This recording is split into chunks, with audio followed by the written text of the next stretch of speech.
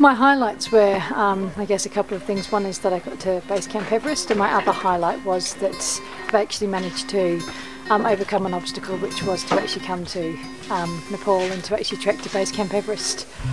Whilst I've been here, I've had an amazing time, met some amazing people, and I want to just thank Cherie for all the hard work that she's done, the post training and the pre training. All those long walks have paid off because had she not done the, the training that she did, I would never have made it to Base Camp Everest. The Nepalese people are just absolutely fantastic. I've learned a lot from them. I've also learned a lot about myself on this trip. It's given me new insights into my life um, and given me a new direction um, and also cleared some stuff up too for me. So I'd also like to um, make mention to Tika and, and the porters and the Sherpas. They've all been fantastic.